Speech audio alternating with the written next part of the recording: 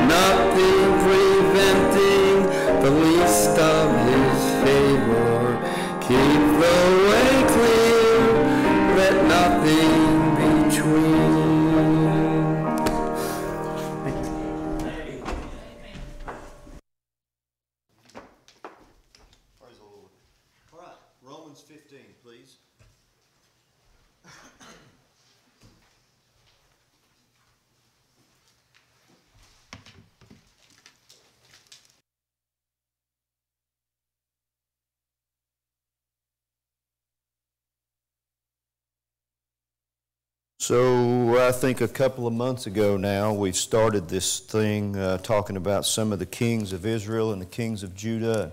Um, um, I guess a couple of purposes there, at least.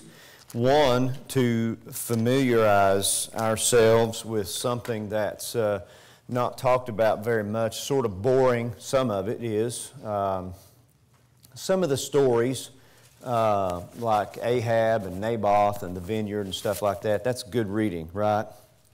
But some of the stuff with the kings of Israel uh, and the kings of Judah, just not very fun reading. Amen. You can't remember all the names, you know, and you struggle with uh, where is that story? Did it, did it show up in Kings or Chronicles? And who was his son? And how long did he live? And just stuff. But it's the Word of God. It's important, or it would not be in here. So we need to familiarize ourselves with that. But I think we've already learned in the last six or eight, nine lessons that if you do familiarize yourself with that, then you can use it as object lessons. Um, Ahab was very wicked, but when Elijah put the finger on him, he backed up and went home and walked softly and added to his days. Amen. He was very wicked, but he knew when to fear. His wife did not. Right? She was a witch. Amen. Uh, Hezekiah could get a prayer through. Right? Manasseh was very wicked, and God allowed that wickedness for a long time. And then at the end of his life, he got things right there, which is just amazing. It's a miracle, right? And so you learn object lessons from those kings, and we're going to look at one tonight probably that started right and then didn't finish so good. Um, I'd rather, I would, I'm getting ahead of myself here, but I would rather, I think, have a saved person get saved and start in an overzealous way, maybe over enthusiastic and have to calm them down as opposed to the having to try to get them moving, right? Uh, getting saved people moving is like pushing a chain uphill, right? It's hard. It's hard. If they start out overzealous and learn some lessons, then they can back it down a little bit and still be okay. But you've got some of these kings that start out like a house on fire and then they don't finish so good. Solomon is the reason that we're looking at this. He's the reason the kingdom divided, started in his heart. Some of them don't start very well, but they finish okay. Some of them don't start very well and they do some good things in the middle and then they finish bad. Right? And so I think last time what we looked at was um, uh, Jeroboam and his son Nadab, and that's as far as his quote unquote dynasty went. Um, parents, grandparents, you saved? Do you want that to reach to your children only? If the Lord tarries and doesn't come back for two, three, four more generations, then um, how would you like to meet your great grandchildren in heaven and them look at you and say, Thank you, Papa, for leading your kids to the Lord and knowing God in front of them. And then, and then they pass that on to their children, and then they pass that on to me. And here I am, right? So, Jeroboam didn't do very well there. One generation, that's it. Um, Rehoboam made some mistakes, um, passed on to Abijah or Abijam, and then we'll look at Asa tonight. Asa did okay, did all right. Um, one thing I've told you this a couple of times, but I'll, I'll try to keep reiterating here. So it's like a it's like a cheat code for the kings. The cheat code is if someone's talking about a a northern king, you can always say, "Oh yeah, he was bad," because they're all bad. Not one good one in the north.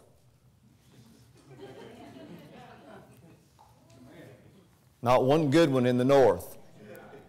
Some of them are good in the South, some. Some of them are bad in the South, too. There's not one good one in the North. Okay? Did I say that already? And Yankees, anyway. Uh, some of us are still fighting the war, right? Huh. Romans 15 4. we hadn't read this in a while. It's very important. Romans 15 4 says, for whatsoever things were written aforetime were written for our learning. We need to learn. And if we look at these kings, we can learn some things. That we, through patience and comfort of the Scriptures, might have hope. So, if we look at these kings, then there's hope for us to not make some of the same mistakes that they made, to, to have some of the same successes that they had. Amen? I think we started this thing actually in uh, Matthew 12, where the Lord said, Every kingdom divided against itself is brought to desolation, it will not stand. And we went a little further there and said, Well, if that's true about a kingdom, then it's probably true about a nation, it's probably true about a house, it's probably true about a, a family, it's probably true about a church too. Um, you know, some of you don't like me from time to time, and I don't really like you either from time to time. And we certainly don't all agree on everything. There's no way that's going to happen. God does not save people and then stamp out clones that look identical. We all have different ideas, right? Come on, amen. You have your own spirit, you have your own way of doing things. We're not all the same, we don't all agree on everything. But there needs to be some objectives here and some goals that we all agree on, right? Some things are just infallible, and that's how it is, right? So we have to agree on, on certain things. That's just how that works. We can't be divided in certain areas. Can't be divided. Um, you, we, we are all in here, we are all vanity of vanities. Even at our best state, we're all together vanity. If at any point you disagree with that, you're in trouble. The only good thing about you is the Holy Spirit inside. If we disagree about that, it's going to be hard. Amen? You might, you might get along here and be a post-millennial or an all-millennial type person and not believe in premillennialism and a pre-trib rapture and all those different things. You might survive. You're, you're going to have your feathers ruffled from time to time. Amen? But you might be okay. You probably won't get by here um, if you don't believe that this book teaches eternal security. We, you, we, you just, it won't be good fellowship for you. It's just, it's really hard. Amen? If you come here and think that the woman should run the home and also be a pastor, then you, that ain't going to work. Not because I'm a man, because that's not biblical. So there's certain things that we just, we have to agree on. Amen? Uh, so we, we can't be divided in certain areas, and that division starts uh, in the heart. Um, your, your heart and your, your eye, he says, needs to have singleness. And in Deuteronomy 6, God doesn't want a portion of our hearts, He wants our whole heart. Right? We are to, and I didn't finish this way this morning. I just didn't, I didn't feel led to do that, didn't want to do that. But um, you, you do need to know God here today but you know God to love Him more. The more you know about Him, the more you love Him. Amen? And so in Deuteronomy 6, and then the Lord comments on that passage that He and His Father made back in Deuteronomy 6. He comments on that passage in Matthew 22. We're to love the Lord our God with all our heart, soul, strength, and mind, right? That sounds like to me He wants it all. He doesn't want Sunday morning from 11 to until you stop paying attention.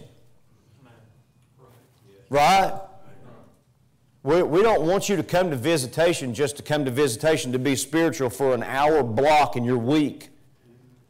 Visitation should be just something that you do because you look forward to it and love it. And I'm already doing some of that stuff anyway, but let's go do it with our church brethren. Right? So there, there's a different look at it when you're on the same page, but instead of having division, the Lord stresses that whole wholeness, that whole singleness of eye and heart and all that different stuff. Now, again, we covered the end of Jeroboam's dynasty last week. It went through Nadab, and that was it. Uh, let's take a look at quote unquote Rehoboam's dynasty. Come back to 1 Kings chapter 14. And um, keep your Bible handy there, and we're going to go back and forth between 1 Kings 14 and 15 and, and uh, over to uh, 2 Chronicles 16 and 15 and 16 and right in that area. So um, keep those two around those two places there, and uh, we'll do okay. 1 Kings 14 22.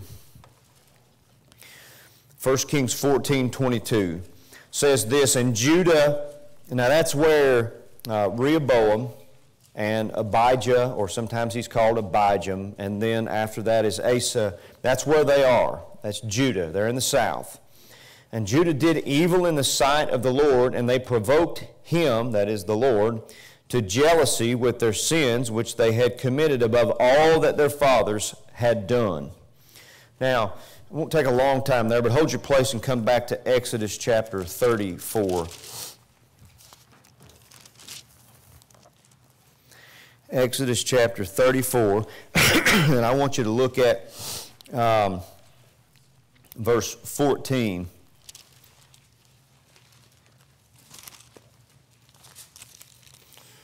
I want to see if I can pick up another place here that might help you a little bit. Let's see here. Uh, we need to practice our Bible drill anyway, right? Um, Exodus 34 14 says this For thou shalt worship no other God, for the Lord, whose name is jealous, is a jealous God. Anybody in here ever suffer from or know someone else? It's easier that way, you'll admit that. Know someone else who suffers from jealousy? Anybody? Problem is with us, sometimes there's pride involved there and it's not really holy, it's not pure. God's jealousy is right. God wants undivided, undivided attention. He wants your whole heart. eventually, what He wants is every minute of every hour of every day to be focused on Him. And He deserves it. Right? Listen, if there's not some part of jealousy found in you, then you're wrong. You have to be jealous over some things. You know, guys, what if I told you that um, uh, uh, your wife had counseled with me and told me that, well, she did love you, but she wanted to spend Monday night with another fella, and then and then Thursday night with another fella, and then Saturday with some other guy, but she'd give you everything else, right? And she just wanted three or four hours there on Monday and Thursday and Saturday, right? And but you, that's just six. That's just what is that? Twelve hours in the week. You can have everything else. If there's not some jealousy that comes out there, then you don't really love her, right? So God really loves you. So when your time and your heart and your affection and your attention go even 12 hours a week to these other places, He's jealous. Amen? And we're talking about, I'm, you know, I, I think we have come to the place where we're begging for an hour or two or three a week here for Him. And then the world and the job and everything else consumes everything else there. We're in bad shape. But the sins of Judah here, back in, in 1 Kings 14, had provoked God to jealousy. Um, Song of Solomon, chapter 8, verse 6 says, Set me as a seal upon thine heart, as a seal upon thine arm, for love is strong as death, Jealousy is cruel as the grave. The coals thereof are coals of fire, which hath a most vehement flame. So, love and jealousy are mentioned together in that passage. Because if you really love, then there's pure, holy jealousy involved. That's biblically how that works, right? So, come back to now 1 Kings 14. And again, look at verse 22. Judah did evil in the sight of the Lord. They provoked him to jealousy and done all that their fathers had done. Now look at verse 23. 1 Kings 14, 23. For they also built them high places and images and groves on every high hill and under every market, underline it, green tree. Going green is not a new thing. There were tree huggers back in 950 something BC. You ever witness to somebody and they say, "Well, I just I'm uh, I like getting outside and and uh, admiring and uh, God's creation, and I don't have to go to church to worship God." Yeah, how many of you heard that? That's not just the preacher. Oh, hands all over the house. Uh, probably 250 hands there. yeah, you can worship God out somewhere else. You don't have to be in church but you're commanded to come to church. So if you're going to be right with God, you need to be in the house of God. You need to be in church. If you forsake the assembling of yourselves together, you're wrong. Amen? People say, well, I can get out and do this, and I can get out and do that, and I can get out and do this. You might be able to get out and do that. But here's what I know about you you have prayer requests. And what you're saying is, I can worship God out in the woods, and these people don't have to know about my needs, so I really don't want them praying for me. And these people that have problems, right? I don't really want to take the time to pray for them either. I don't need to come to prayer meeting. I can go out and get under a tree. Yeah, you're selfish too. That's your problem. Amen. No accountability, right? Uh, don't want to give. Don't want to work and try to help and love the brethren. Don't want to pray for the brethren. Don't want them praying for you. Oh, yeah, I know.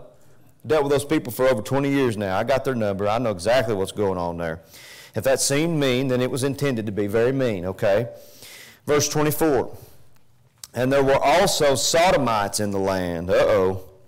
And they did according to all the abominations of the nations which the Lord cast out before the children of Israel. So they had they gave back in this time for whatever reason they were giving special privileges to queers. Is this book up to date? Right? Well, we need to tolerate them. God loves everybody. Right? Isn't that what we hear from time to time? Listen, I've told you before, I'll tell you again. Those people are what we call proselyters. They can't reproduce themselves, so they're after our children. They have to proselyte your children and my children for them to keep going. Right? Um, I don't want those people around my children. This fella in Knoxville, I know, I know, you all of you already scared. This is on YouTube. You could get in trouble too. Uh, they won't fire me from the sheriff's department, I tell you that. Not put me in jail, but they're going to fire me. I'm not employed down there. How many of you know who I'm talking about? I don't know his name. Anybody? Fritts. Huh? Fritts. Fritts. Is he a pastor? I heard some of that. Brother Craig got that up there for me, and I listened to some of it. He went a little too far. You have to, you have to rightly divide between Old Testament and New Testament. Nowhere in the New Testament are we commanded to kill those people. Right? Not even we're not even, it's not even insinuated that we should do that. But because of what it says in the Old Testament, we know what they deserve. Amen. We're vile sinners too. We know what we deserve too. Come on. Amen. But the problem is, the problem is that sin brings on God's wrath on a nation and, and, and towns and families and individuals. Come on, amen? People say, well, all sin's the same. No, no, no, no, it's not. No, it's all sin. I mean, we're, we're supposed to learn, Romans 15 4, we're supposed to learn from the Old Testament. It's an example for us, right? It's written for our learning and admonition. Well, in the Old Testament, when a certain sin was committed, you had to pay a certain price. Right? Those prices are some very high. They require your life. And some are very low. Uh, bringing a turtle dove and then cutting your head off, they ain't the same digging a hole and pitching you down in it and throwing rocks and boulders on you and offering a, a goat, that ain't the same. So the sins are different. That sin, that sodomy, that homosexual, what we now call homosexuality, I don't call it that. It's sex perversion, right? They're queers, right? That in here, if you believe this as a history book, that sin brought on God's wrath on a nation to the tune of fire from heaven. Right? So, how serious is that? I think it also brought on what they call AIDS now. They, when I was a young man, they called it GRID. How many of you remember that? It's, I don't hate those people. I wish those people get saved. In fact, we just looked at a book uh, a couple, three days ago that's a, a 100, 200 page testimony of a young lady that was convinced that she was homosexual and then she got saved. And in that book, she denounces that and says that's not biblical, it's wrong. And now she's a Bible believing Christian living for God, right? That, that's what we want, amen? But we know that sin and how serious that is. Now, just for sake of time, let's skip ahead there in 1 Kings 14. Look at verse 31, last verse in the chapter. And Rehoboam slept with his fathers and was buried with his fathers in the city of David. And his mother's name was Naamah, an Ammonitess, and Abijam, or in some places in Chronicles, he's Abijah. His son reigned in his stead. So come over to Second Chronicles chapter 13. Hold your place there. Come over to Second Chronicles chapter 13. it's great to have Samuel Kings and um, Chronicles and, and even some places Isaiah where they overlap, where you get two or three, sometimes four different testimonies. Hey, I'm glad we have Matthew, but I'm glad we have Mark, Luke, and John too. It helps me, right, in witnessing. You say, well, it wasn't just this one fellow that said he saw the death, burial, and resurrection. These other three saw it and wrote about it. And then in their writings, they said these other people also saw it, right? So that's great, right? That's what we need. That's a, that's a true history book. Second Chronicles 13, look at verse 1. Now, in the 18th year of Jeroboam, remember he's up north. He's been there at this point 18 years, began Abijah, that's the same fellow, Abijam, to reign over Judah. Now, again, for sake of time, he's the son of Rehoboam. Skip ahead here to verse 9. The Bible says in verse 9, Have you not cast out the priest of the Lord, the sons of Aaron and the Levites, and have made you priest after the manner of the nations of other lands? So that whatsoever cometh to consecrate himself with a young bullock and seven rams, the same may be a priest of them that are no gods. But as for us, see, they're talking about the, the south here. Abijah is, it, look at verse 4. It says, Abijah stood up upon Mount Zemaraim, which is in Mount Ephraim, and said, So he's preaching this message. We're picking it up halfway through. He's comparing what Jeroboam is doing in the north to what Abijah, Abijam here, Asa's father, is doing in the south. Verse 10, he says, But as for us in the south, the Lord is our God, and we have not forsaken him and the priests which minister unto the Lord are the sons of Aaron. And the Levites wait upon their business. you remember Jeroboam set up the basest of men, the lowest of the people. They weren't Levites. They weren't from Aaron. You remember that from a few weeks ago? Look at verse 11. And they burn unto the Lord every morning and every evening, evening burnt sacrifices and sweet incense. The showbread also set they in order upon the pure table, and the candlestick of gold with the lamps thereof to burn every evening. For we keep the charge of the Lord our God, but ye have forsaken him. so they're drawing a contrast there between what's going on in the south and what's going on in the north. Now, come back to 1 Kings 15, and let's pick it up in verse 1 where we left off. Hold your place there in Chronicles. We'll be back in a minute. 1 Kings 15, verse 1. Now, in the 18th year of Jeroboam, the son of Nebat, reigned Abijam over Judah. There he is again. Three years reigned he in Jerusalem. So the Rehoboam's son here, Abijah, Abijam, only lasted three years. Three years reigned he in Jerusalem, and his mother's name was Maacah, the daughter of Abishalom. Verse 3 And he walked in all the sins of his father, which he had done before him, and his heart was not perfect with the Lord his God, as the heart of David his father. Now, he said in Chronicles to the north, We're going God's way, and you're not. But his heart wasn't right. It wasn't like David. I'm, just, let me stop right here and say this because we've seen this over and over again, and I've not emphasized it, I don't think, yet, and probably not enough, that's for sure. Have you noticed that David is the standard? Notice that? Did he mess up? Sure, he did. His heart was right. He knew how to repent. He wanted to do right. Come on, have there been times where you wanted to do right and you messed it up? You're selfish make a decision based on what's best for you.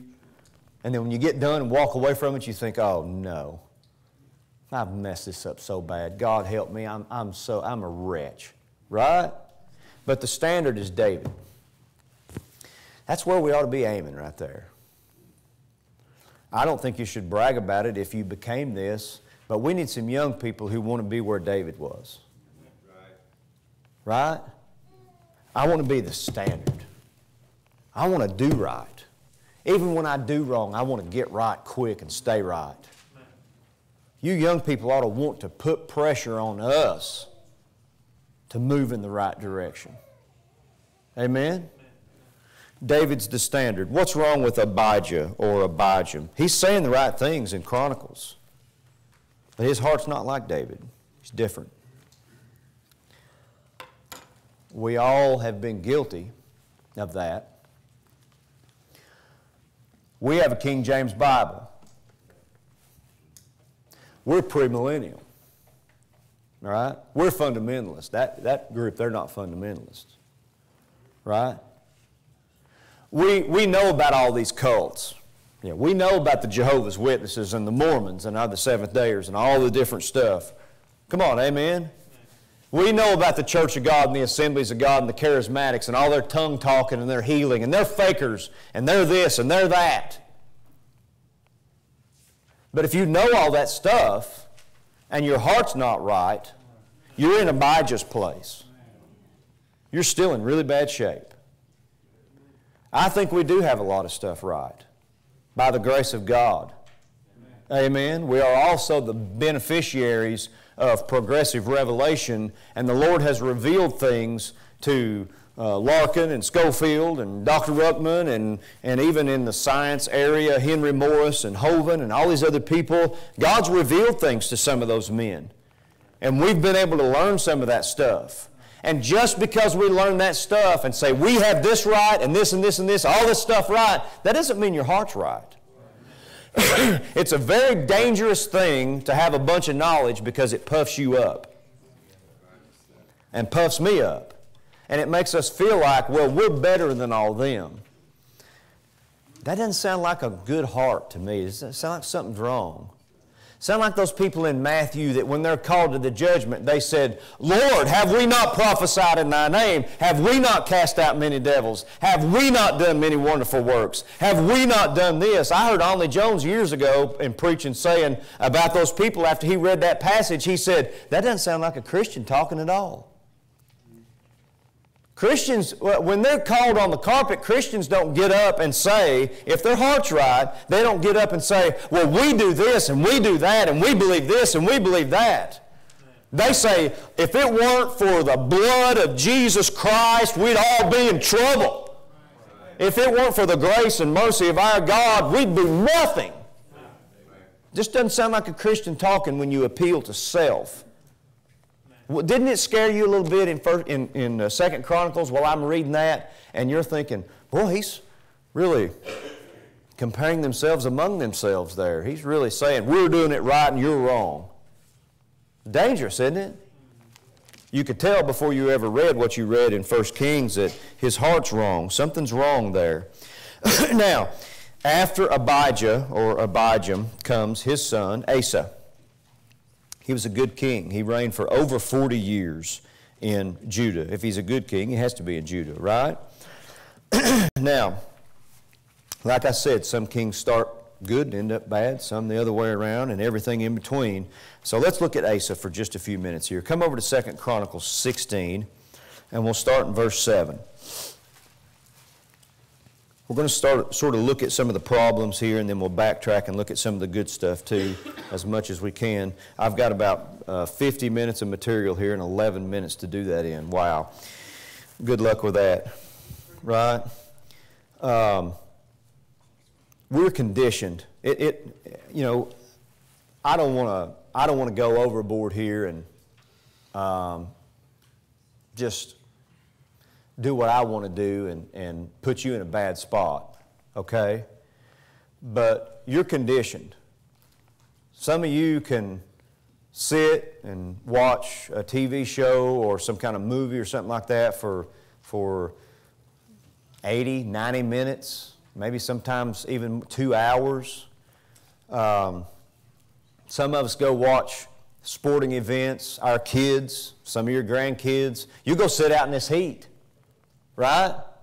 And watch it for an hour, two hours, three hours. But when the preacher goes for an hour and he doesn't get up until on the bottom of the hour, then you've been here for an hour and a half. I see you. I know your condition. We all are. After about 40, 45 minutes, it's, you know, Some are hot, some are cold, some are in between, some don't know, don't care, you know. I mean, my dad's the easiest one to please there. If you put a person in Southeast Asia for 13 months and two weeks in a day, and they come back here and have to sit in a 78 degrees room, they're good.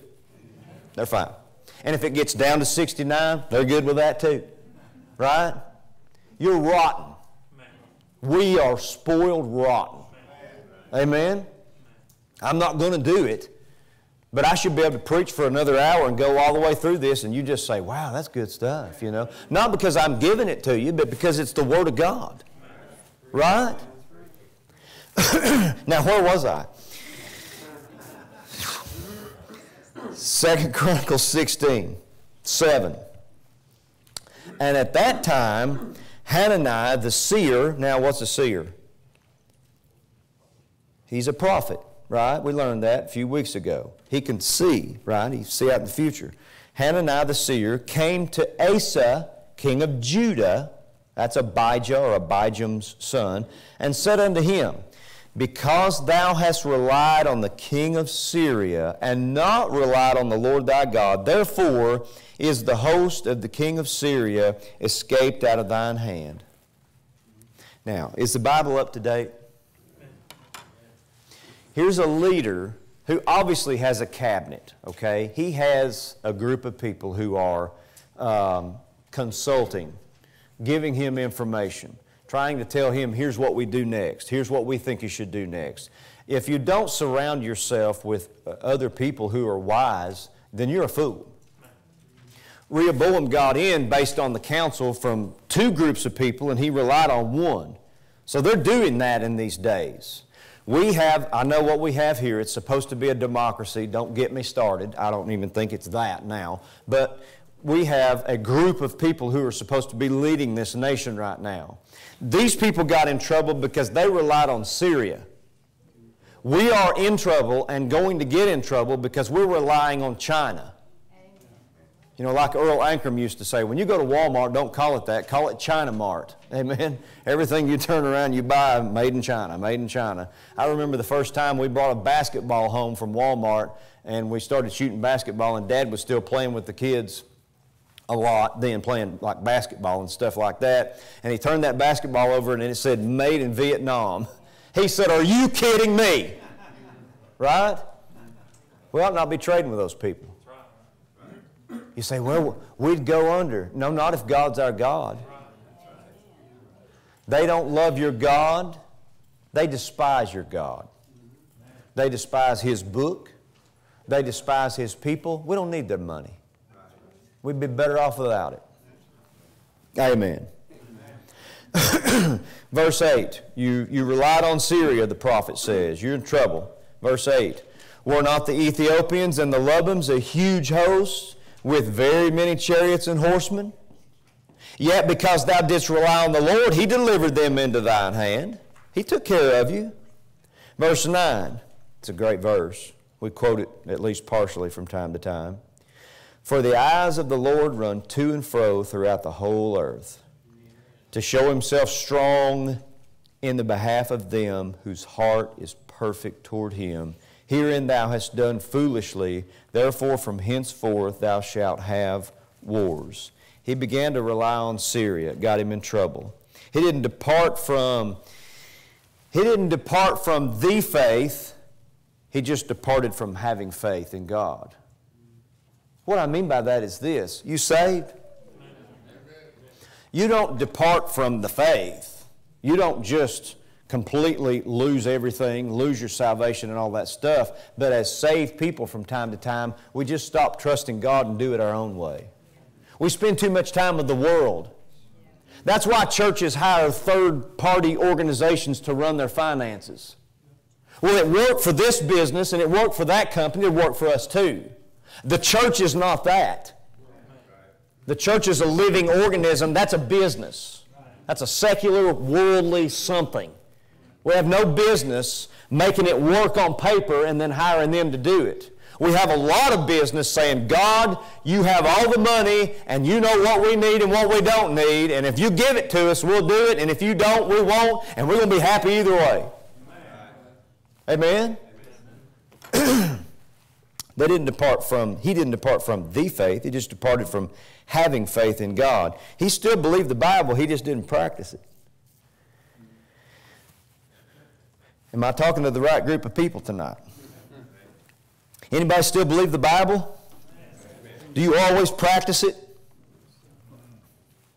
Right? So he had wars at the end of verse 9 here.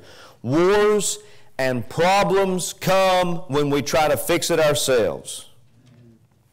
God needs to intervene. You know why your home is a battleground from time to time and you don't get along? Because you're trying to do it yourself. You know why siblings fuss with each other? Because you're trying to do it yourself. I'm a good dad. I can do this. You're an idiot. Amen? I'm a good parent, you know. I've read all the books. yeah, good luck with that. God, my kids aren't getting along. Please deal with their hearts. Help them. Show them what this says about sticking closer than a brother.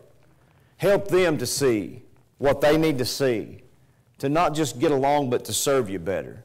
Do you think He can take care of it? you, you can't read that passage without thinking about James 4. Come over to James chapter 4 right quick. it, uh, he had wars. Asa had war, battlefield, killing each other. The, but this thing, I think what we learn from it is found in James chapter 4. From whence come wars and fightings among you? Come they not hence even of your lust that war in your members? You lust and have not, you kill and desire to have and cannot obtain, you fight and war, yet you have not because you ask not. You ask and receive not because you ask amiss, that you may consume it upon your own lust. Ye adulterers, adulteresses, know ye not that the friendship of the world is enmity with God? Whosoever therefore would be a friend of the world is the enemy of God. We found out how the world does it and it's successful. Let's try that. No, let's stick with God and get rid of all the fussing and wars and all that other stuff. Well, come back to Second Chronicles 16 and let's just quickly look at how Asa reacts to the preacher in his message. Um, I've done some preaching out other places, and I've preached to you all for quite a while, and we have visitors in here from time to time. I ain't real sharp, but I can tell when somebody doesn't agree with what I'm saying. Amen. I mean, you get you put somebody in here for years and years and they do this the whole time I'm preaching. I say something funny and they do this. I say something sad and they do this. I yell and they do this. I talk quiet and they do that. Same thing. Right? I'm not saying you have to hoop and holler and run around the house. Come on, amen. But I know when you're just sitting there saying, I don't care what you say, I'm going to do it my way. It's dangerous. It's dangerous. Oh, not because it's me. I'm nothing. Amen? But when somebody gets up here and says, Look, the preacher came and said, You're in trouble, you need to stop that. And then when that person gets mad, and then you read and find out what happens to those people, and it doesn't scare you, you are in a world of trouble. I can't help you. I can't help you. Only God can help you. Right? Look at verse 10. 2 Chronicles 16 10. You're gonna, the prophet said you're going to have wars. Verse 10 says, Then Asa was wroth with the seer and put him in a prison house. I think that's sometimes if the, if the church could have their way, and I think sometimes they have their way, they say, you know what, we don't want this preacher. We want another one. I'm tired of listening to him. He ain't going to tell me what to do. He's wrong. He this. And they'll find something. You know, always find something. Right? His family his this, his that. He don't handle this the right way. He don't handle that the right way. Let's get him out and get us another one. Mm, that's dangerous. Right? There, you can write Ichabod over a lot of church house doors in this country because of that right there. You've watched it. I've watched it. It's dangerous. I'm not saying that because I'm the pastor. I'm saying that because I could read. Right? I sit down there and say it with you. It's true whether I'm standing here or sitting there, it doesn't matter. It says he was wroth with the seer and put him in prison.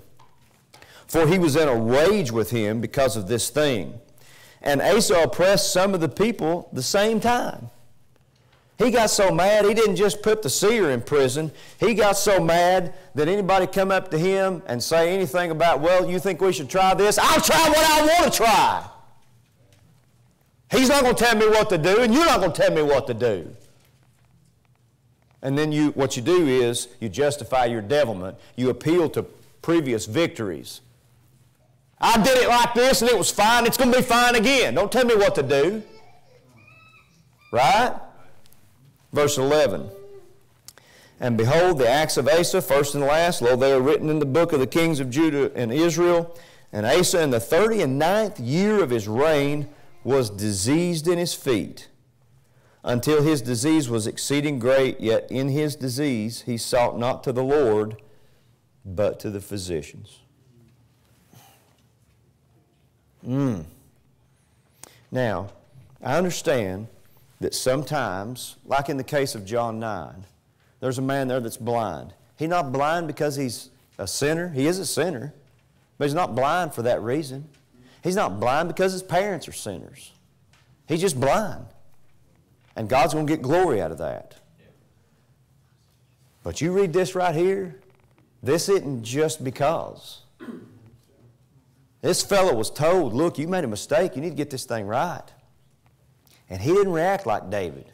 He got mad and wouldn't stop getting mad. And so God said, All right, if you're my children, your sons, and not bastards, then I'm going to I'm going to put this on you. Come on now. Right? Hey, what I'm talking about is dangerous. It's dangerous. There are certain chapters that scare me. Probably not enough. That thing in 1 Corinthians 11 scares me. You come in here and we're do uh, what we call communion, the Lord's Supper, right? And you don't get that thing right and fix that thing up and make sure that everything's okay before you take that, you eat unworthily and drink unworthily and you eat and drink damnation to yourself. It's dangerous.